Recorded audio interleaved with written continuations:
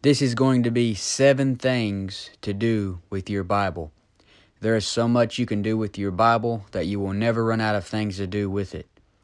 It isn't like a video game or a movie or a CD or any other temporary thing that you're just going to get tired of and then want something else. There's always something you can do with the Bible. And a preacher can get up and preach hard against sin and preach a sermon to get people excited. And these sermons are good and they put people under conviction. But if he can't get them interested in the Bible, then this conviction or excited feeling that they have will be gone many times by by the time they leave the church or by the time they eat dinner. But if a man can get a people interested in the Bible, then that will do more for them than just a good sermon. The best thing a person can do for another person is to get them interested in the Bible, and that is one of the greatest things anyone has ever done for me. Someone asked me one time, What do I need to do to redeem the time? And that's an easy answer. The answer is to get a King James Bible and use it. And now I'm going to show you how to use it. The first and most obvious thing to do is read it. Isaiah 34:16 says, "Seek ye out the book of the Lord and read." The same God who made the heavens and the earth is the same God who wrote a book and gave it to you so you could read it. And the same God who walked and talked with Adam and Eve is the same God who gave you his words. It is an amazing thing. God wants us to read his words. At least seven times Jesus asked someone the question, Have you not read? And most of the questions you have in your life can be answered if you read the book. You talk to God through prayer, and God talks to you through the Bible. If you want an answer from God, then read the book. 1 Timothy 4:13 says, "Till I come, give attendance to reading, to exhortation, to doctrine." Some people say, I just don't understand the Bible and that's why I don't read it. The best thing to do is read it even if you don't understand it. And the more you read it, the more understanding will come. And I'd suggest setting a goal for yourself for the new year. Start out easy if you have to, with two chapters in the Old Testament and three in the New Testament. Uh, Jesus Christ was a Bible reader, and when he was attacked by the devil, he quoted Scripture, and over and over again he said, It is written, it is written. And you don't have this weapon that Jesus had if you haven't read because you don't know what is written. Hebrews 4:12 says for the word of God is quick and powerful and sharper than any two-edged sword, piercing even to the dividing of sunder of soul and spirit and of the joints and marrow, and is a discerner of the thoughts and intents of the heart. The word of God is your sword and you can't fight very good with a sword if you don't get familiar with it. Think about it like this the more you read the Bible, the quicker you will be able to swing your sword. 1 Timothy 4 8 says, For body exercise profiteth little. Bodily exercise doesn't profit much, but reading your Bible will. Consider it working out your mind. Reading the Bible is how you get rid of pet sins. Romans 12:2 says, "And be not conformed to this world, but be ye transformed by the renewing of your mind, that ye may prove what is that good and acceptable and perfect will of God." Some of you may be struggling with the lusts of the flesh. Maybe you can't get over a video game addiction or a pornography addiction or a music addiction, and all these things war on your mind and your flesh will war with the spirit and these things can take up residence in your head. And if you read the book, if you read the Bible, you will renew your mind. Your mind will start hating those things. So get a Bible reading plan. My plan changes.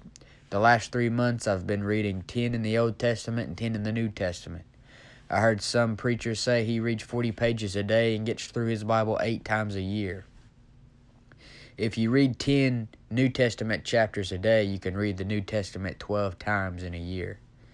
And it really doesn't take that long to read 10 New Testament chapters. But moving on, the second thing you should do with your Bible is meditate and memorize. And this is how that you hide the word of God in your heart. Psalms 119:11 says, "Thy word have I hid in mine heart, that I might not sin against thee." One of the best ways I have found to hide the word of God in your heart is to write down verses on a piece of paper all through the day, take it out of your pocket and read it. Memorize a few words at a time until you have the whole verse memorized.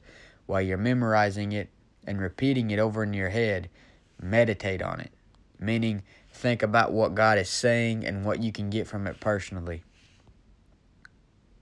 Joshua 1 8 says, The book of the law shall not depart out of thy mouth, but thou shalt meditate therein day and night, that thou mayest observe to do according to all that is written therein. For then thou shalt make thy way prosperous, and then thou shalt have good success. Psalms 1 2 But his delight is in the law of the Lord, and in his law doth he meditate day and night. Psalms 119 15 I will meditate in thy precepts, and have respect unto thy ways. Most people today who meditate are getting hooked up with unclean spirits.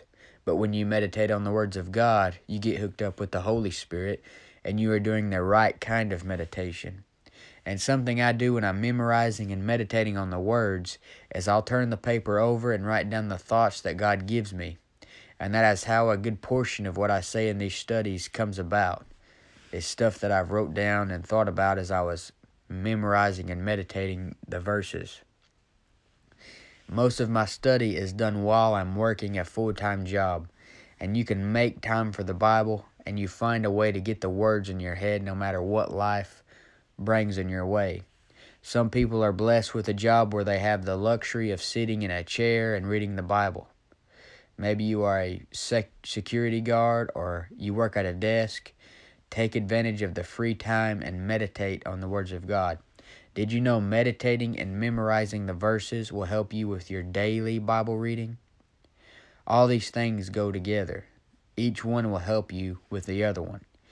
You will be able to read the Bible faster and a lot clearer when you get to the parts you have memorized and meditated on. Reading the Bible will also help you memorize it. A good portion of the Bible you won't have to spend much time memorizing because you have read it so much that you already have it memorized. But moving on, the third thing to do with your Bible is study it.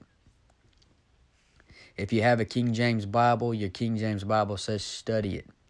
2 Timothy 2:15 Study to show thyself approved unto God, a workman that needeth not to be ashamed, rightly dividing the word of truth.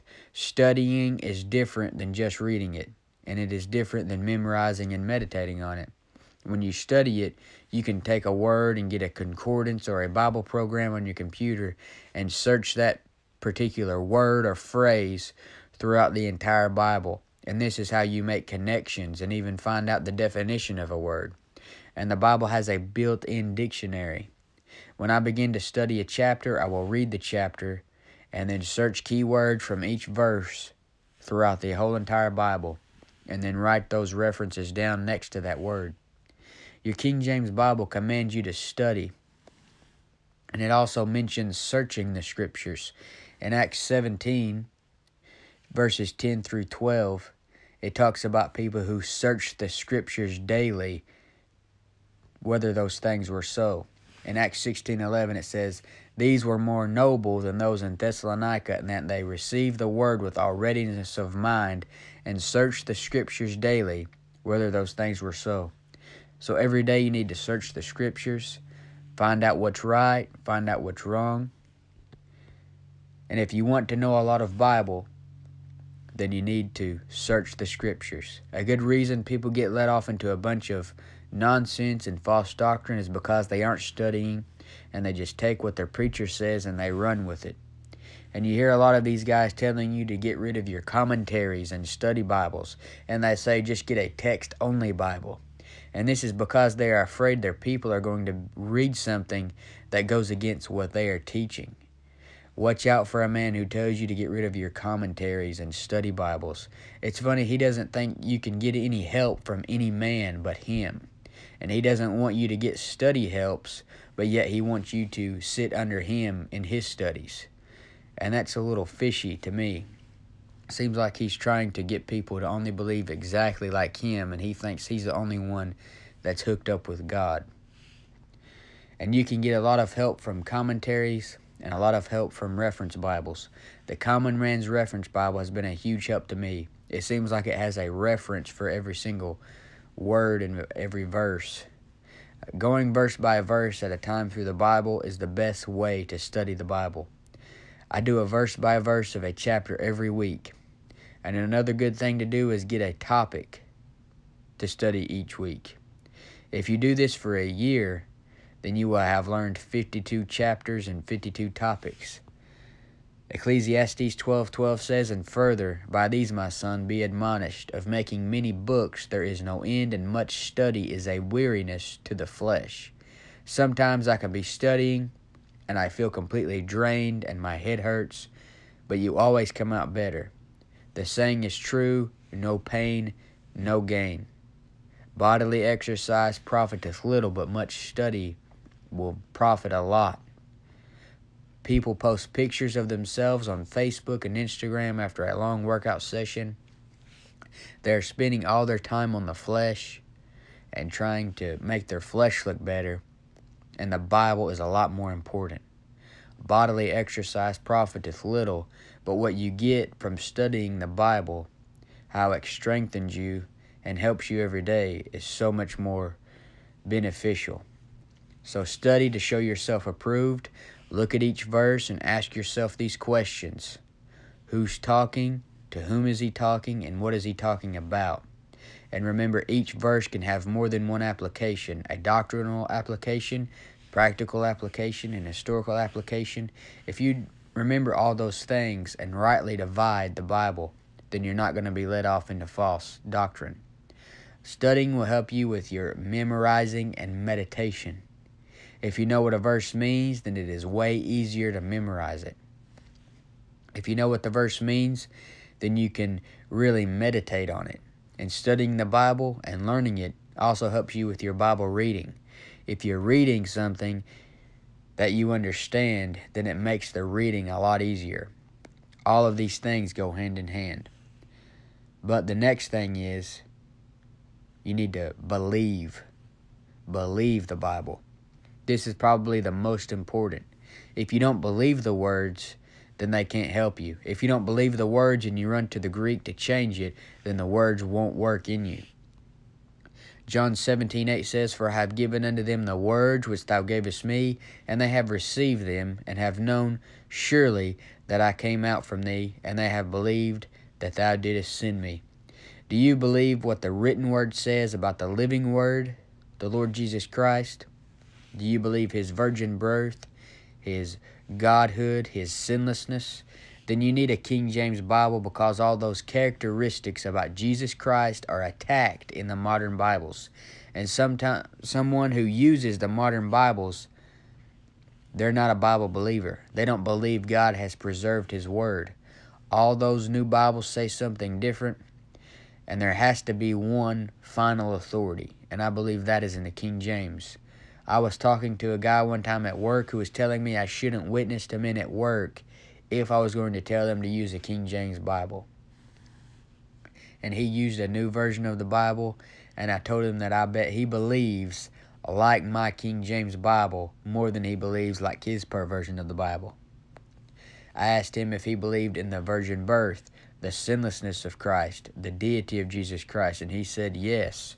So I said, Your version of the Bible removes those major doctrines about Jesus Christ. And he said, Well, you're just being nitpicky. And yes, I'm nitpicky when it comes to the words, because the Bible says, Man shall not live by bread alone, but by every word that proceeded out of the mouth of God. And if I don't have every word, then I can't live by every word. In the book of Ezekiel, Ezekiel says the phrase, the word of the Lord 60 times in his book. And this shows he believed the word.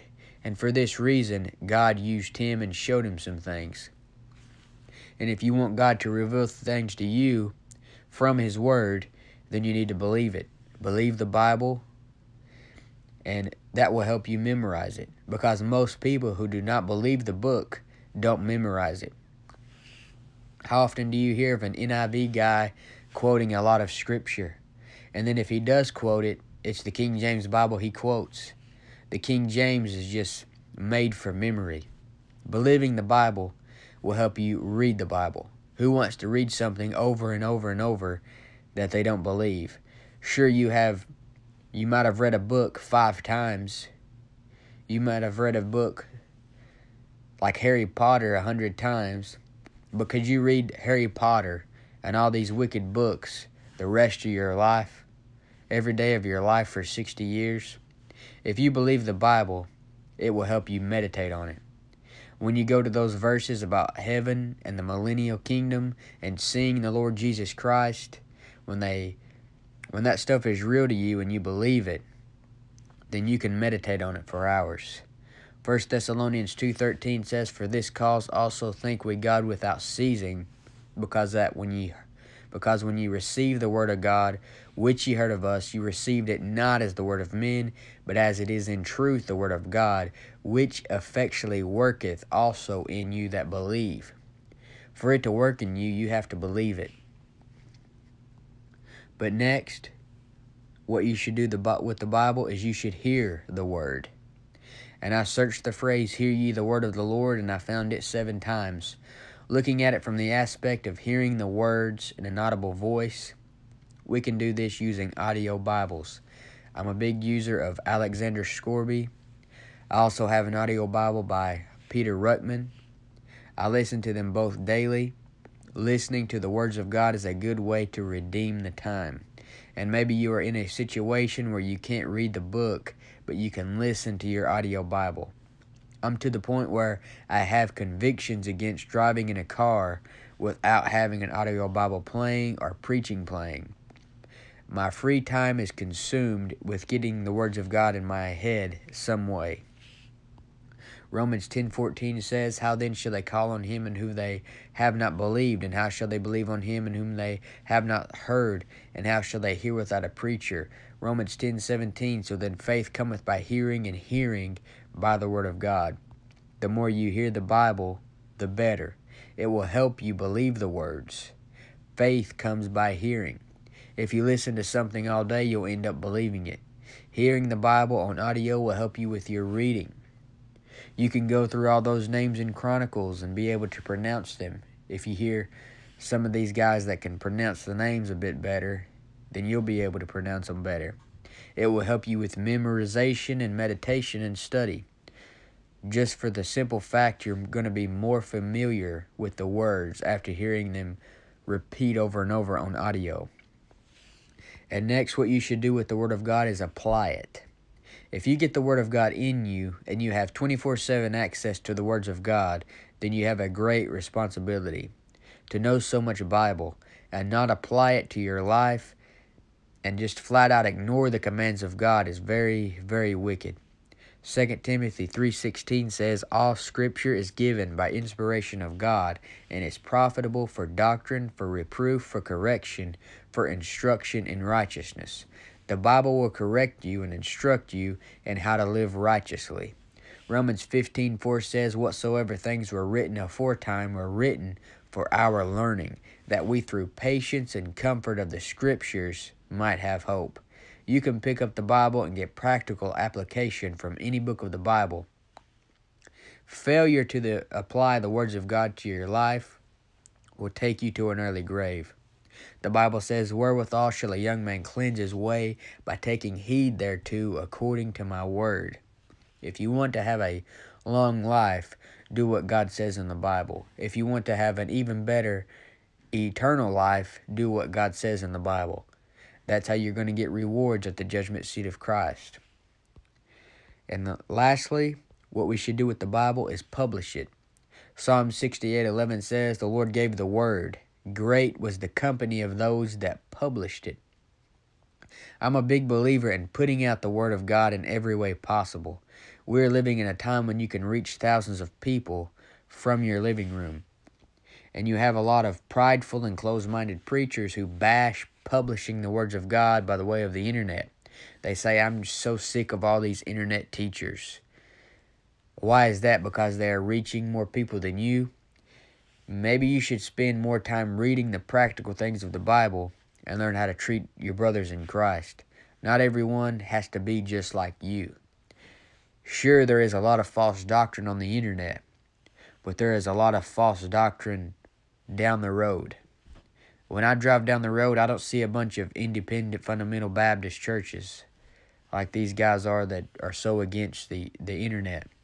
I see a Church of Christ, a Church of God, a Methodist, Episcopalian, Seventh day Adventist, and then I see maybe an independent Baptist every now and then, but they have rock music in their church and they they don't even know the King James issue. Even though they use the King James, they wouldn't even know why that they use the King James.